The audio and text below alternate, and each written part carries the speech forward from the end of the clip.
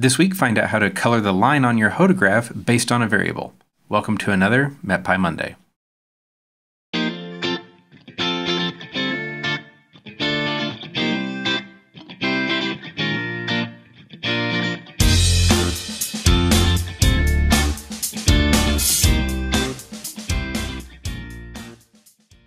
Hi, I'm John Leeman, a software engineer at Unidata. On this week's MetPy Monday, we're going to look at how to color the line on our hodograph based on another variable. It could be wind speed or it could be any other variable that was measured along with the wind profile. So it could be temperature or anything else from the sounding. We're going to start with the code that we left off with last week. So if you haven't watched part one of this series, you might want to go back and do that now. As a quick reminder, we've made a new figure and then we've added an axis We've created an instance of hodograph here, so we tell it that we want to plot on axis AX, and that our component range is going to be 60, so that sets our bounds here. And then we just call h.plot with the u and v wind, and in this case I passed a line width of 5, so that the line was a little larger. Then we added a grid with an increment of every 20 knots in this case. If we want to change that line to be colored by wind speed, it's actually a really fast change. We just change plot to plot underscore color mapped.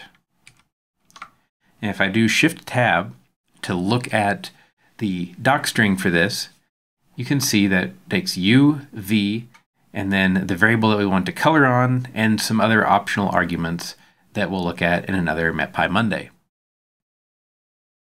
So u, v, and then we need to add wind speed. But before we run this cell, I have not pulled wind speed out of the data frame when we retrieved the sounding data yet. We didn't need it last week. So up here, we're going to say wind speed is df speed dot values and then attach the units.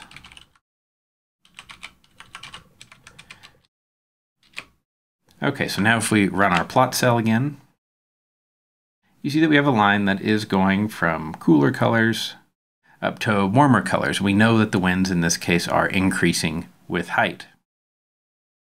Now, this is not the best use of the color range for sure, and it may not be the color map that you want. It's using the matplotlib default color map, which is Viridis.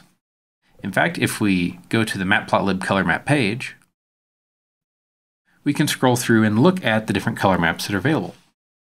So here's what we're using now. You see we're not using any of this upper part of the range right now, but there are many available color maps. So now back in our notebook, I'm going to choose to use a color map that's called hot because I think that'll give us a pretty nice visual here on the wind speed.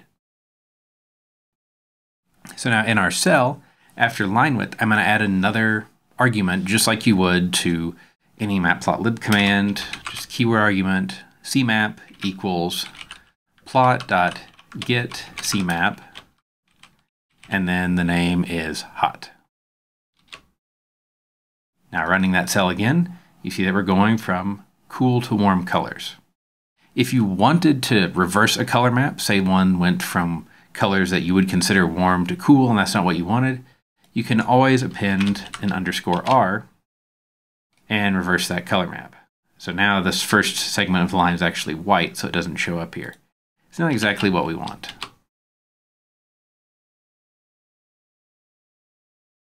But we can do a little bit more here. We can go ahead and better utilize the range of that color map. So I'm going to line wrap so this line doesn't get too long here. And then we're going to set the norm, which we've seen before. So the norm, we're going to normalize between a certain range, a minimum and a maximum value. You might be familiar with this as Vmin and Vmax. Now to do this, I'm going to go ahead and import a slightly different namespace here. So import matplotlib.colors as colors. And then our norm is going to be colors.normalize Vmin, let's say, is 20 knots. Vmax is 50. And now if we run, we see we have a different color range displayed here. We could really turn it down. You'd only have a 10 knot range. Everything out of range is going to get clipped to the uppermost color, in this case white, so we can't see it very well. We could say 80. Now we're not using very much of the range. Or if we went to the extreme and said 800, now everything is black because all of these values are way at the bottom of the color mapped range. So this is a nice way to allow you to quickly adjust things. You could also use nan min, which is going to find the minimum in the array and ignore any nans. So you could find nan min of wind speed and nan max of wind speed.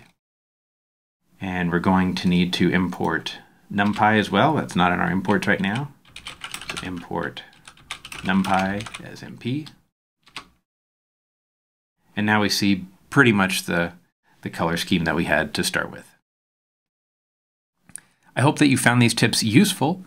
Always remember that if you have problems using MetPy, you can get a hold of us either by filing an issue on the MetPy GitHub page, by sending an email to support, or now you can get support by going on to Stack Overflow and asking a question. We have a MetPy specific tag. Thank you for joining me, and I'll see you on next week's MetPy Monday.